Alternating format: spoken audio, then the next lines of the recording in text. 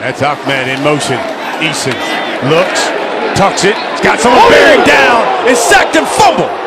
Another turnover for Cal. Get turnovers because they only had one of them last week. And Eason probably would have had an opportunity to get that ball downfield to Cade Otton, but Weaver was applying the pressure there hard on so many different looks and execute great when Here's game game. Eason swings it out. Ahmed. Evan Weaver makes the stop.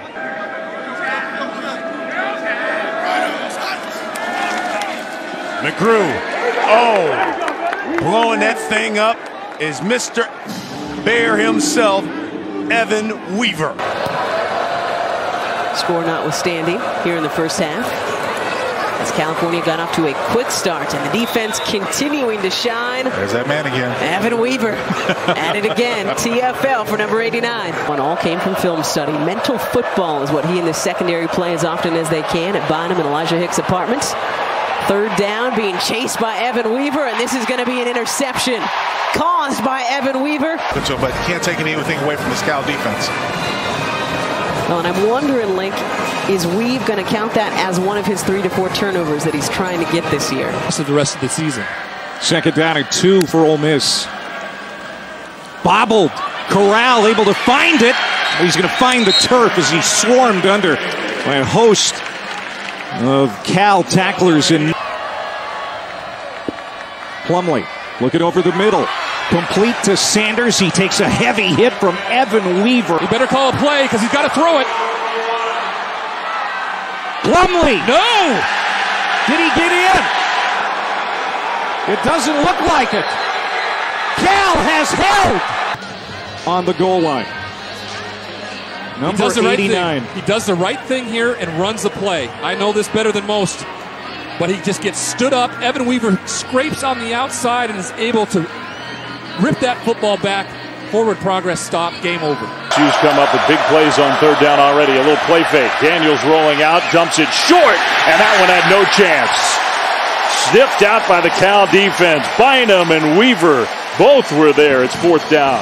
That's because he wants to be sure of where he's going. Benjamin left side running. Weaver in pursuit, and Weaver and company will get there. And Weaver another tackle. Yep. It's the same old story with him. He's one of the smartest football players there is. He understands what his limitations are athletically, although he wouldn't tell you that. He'd say he has no limitations. But he's just smart. Look how he works down the line of scrimmage, shoulders square. Turn- Territory. ASU on the move. Daniels. Another handoff. Benjamin, the quick cut, but he went down. And guess who? It's Mr. Tackle, Mr. Tackling Machine.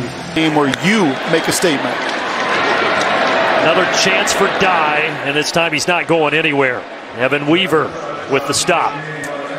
That's a big time play right there now. That that is a one on one situation that he is just going to win.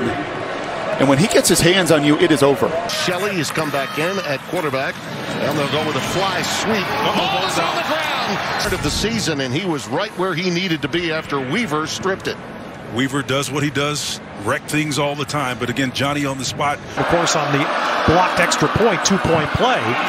So now it is the Cougars' turn to see if they can answer. Points off a takeaway. First down run is snuffed out there as Borghi dropped by Weaver. Scarlett runs.